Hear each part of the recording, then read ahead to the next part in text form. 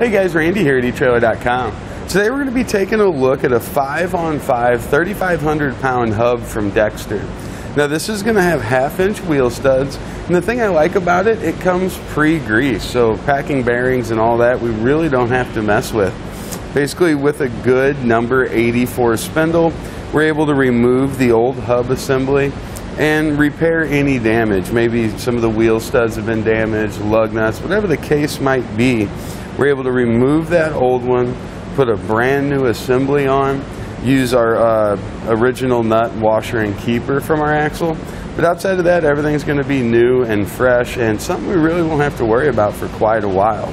Now in the package you're going to have a EZ Lube spindle cap just like this and a standard spindle cap. So if you don't have the grease zerk in there, you can use either one you want.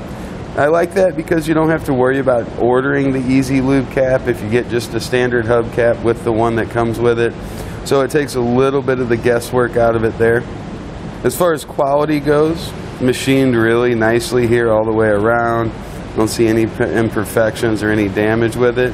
And this is going to work out with tires anywhere from 13 up to 15 inches. Now something we offer very similar to this is going to be from eTrailer, also pre-greased. Um, I like that one a little bit more. It has marine grade grease rather than the standard red high temp grease.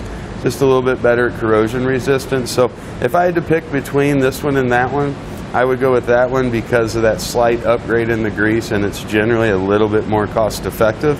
But both of them are very good and both of them do a very good job of keeping everything nice and cool, supporting your load as you head down the highway.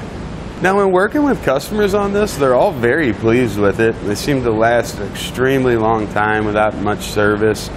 Um, most common questions we get on it or what size spindle, and it's a number 84 spindle. And then what size wheel and tire can I use? And that's going to be 13 to 15. So I think if you have a 5 on 5 bolt pattern, this is probably going to fall right in line with what you're looking for. Now to begin our installation, of course, we'll need the old hub removed. You'll need to hang on to three axle specific components. We're going to have the washer that presses in against the bearing. We're going to have our nut and then we're also going to have our keeper. Now sometimes it'll be a spring keeper like this. Sometimes it's going to be a nut that has tips that stick off of it and a cotter pin. So just depending on the one you've got, once you have that off, get everything cleaned up, inspect your spindle, make sure that there's no damage or anything. This is just some cast mark here and up here. But we need to check this surface, make sure it's nice and smooth. This surface, that's where our bearings are going to ride. And then also the seal surface here. As long as that's nice and clean, we're ready to put our new hub on. I like that it comes in a bag with that pre-grease situation in there. If it were just in a box, it could pick up dirt, it could pick up debris, and that's something that we don't want. So we're to get that pulled out when we're ready. You see a little blue cap right here. What I'm going to do is as I slide it on my spindle, I'm going to use the spindle to push that off. There's a bearing in behind there, of course, so just be careful of that. You see our caps come off.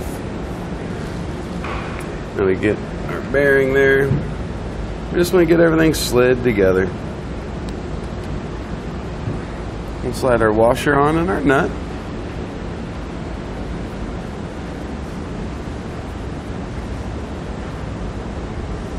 We'll take that down hand tight, and then we'll use our channel locks.